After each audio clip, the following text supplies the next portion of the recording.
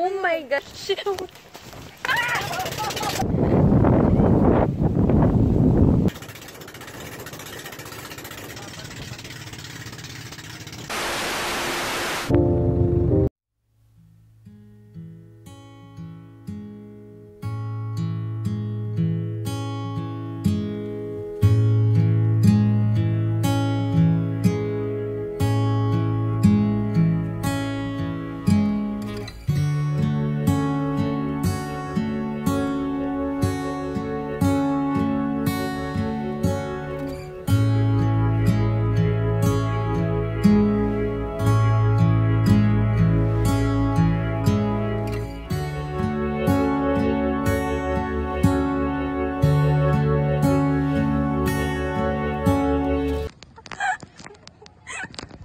Sabi ko, ay!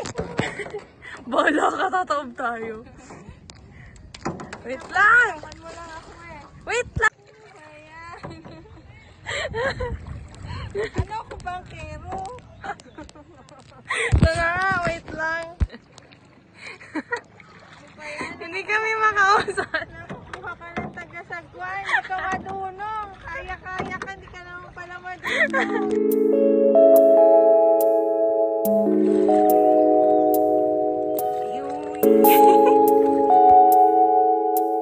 So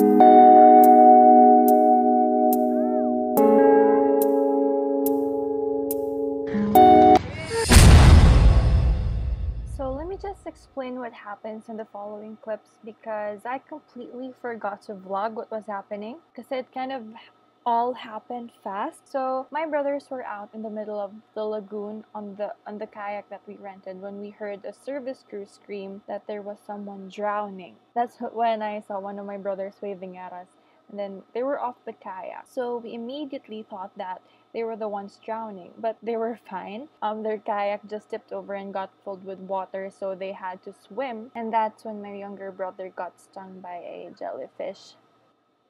And then fast forward to when it was my turn to jump off the plank or the diving board. I just want to quickly say that I was not in any way scared of jumping. I was actually excited when I saw that we can jump off the plank, but when I got to the top, I mean, the height was fine, but it was the freaking plank that scared me. I was fine jumping.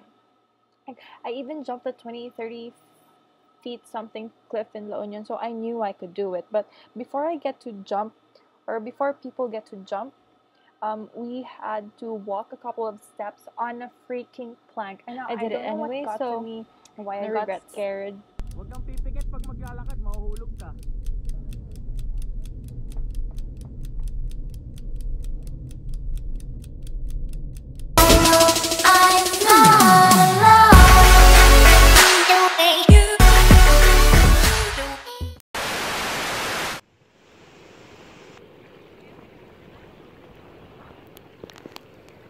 Hi!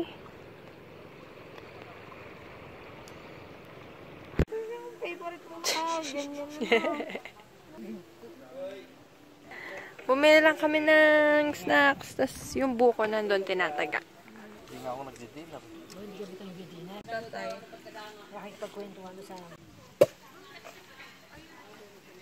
Thank you, kuya. Yes. Concludes our island slash lagoon slash something hopping. Palis na kami sa Kauhagan. Yan yung sandbar. Kanina pa siya. Kanina pa siya ganyan ng ganyan.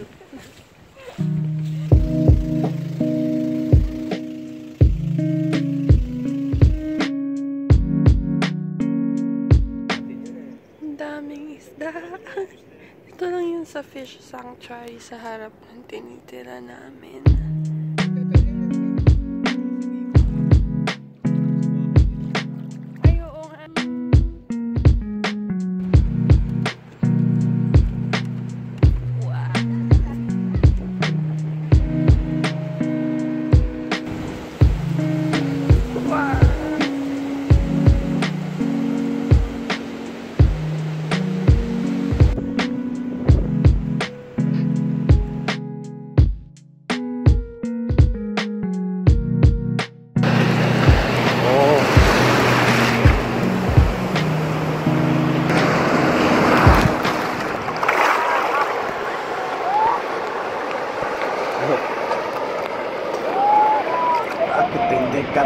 Kaya. Ma'am,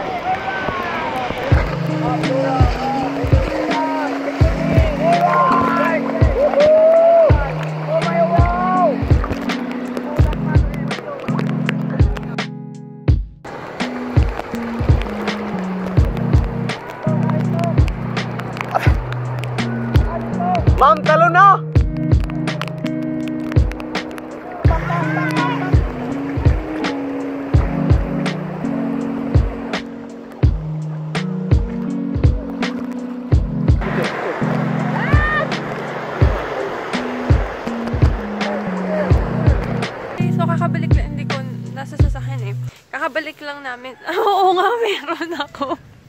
Ano yan? Every time na magsasurf ako, nagkakaroon ako ng red sa ilong.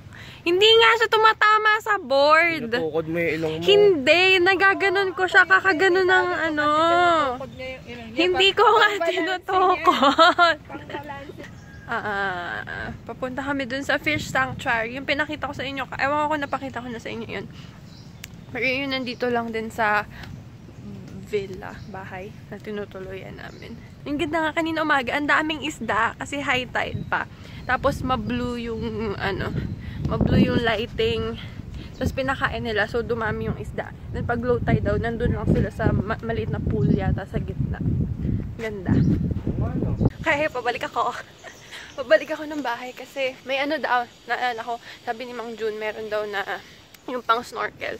Hindi nga namin nadala kahapon, sayang. So, nag-rent pa kami nung 150 ba yun?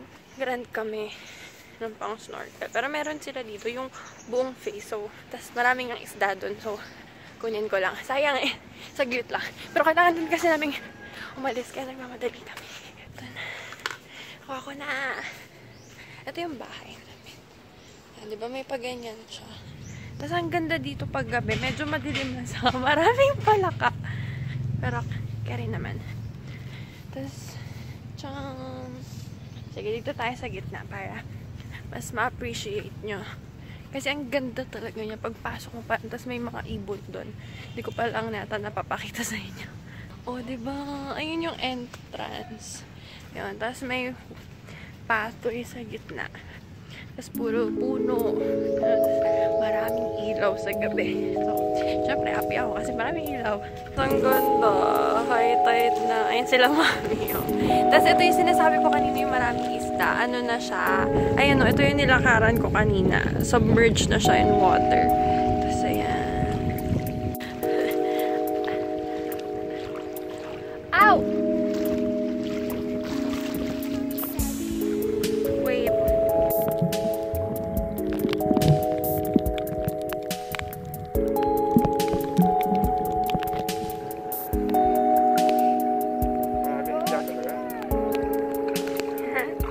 Ang harap chat na to. Ano ko? Oo. Diba? Yun na. Eh, sumulod siya. Naligo na siya eh. Pero lum- lumusong ulit siya. Kasi ang ganda sa ilalim.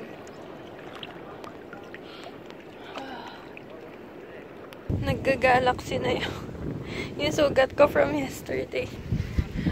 Balik na ako kasi nagugutom na ako. Hindi pa ako nagpa-breakfast. Dumiret. Kasi pagkagising ko, dumiretso agad kami ng Cloud9 para makapag-surf ako. Pero ito yung view pabalik. May ano dito, parang, anong ba tawag dito? Hamon ako na basta yan. Pwedeng mag-lounge dyan, tapos may garden. Tapos may, nandun yung kitchen. Tapos may isang kitchen pa malapit sa bahay. Tapos ito siya. Yan. Ganda dito. Punta natin yung ibon. Ayan, oh, may ano sila. Oh, kaya maingay ito yung umaga. ano tawag? Aviary ba? Aviary, di ba? Oh.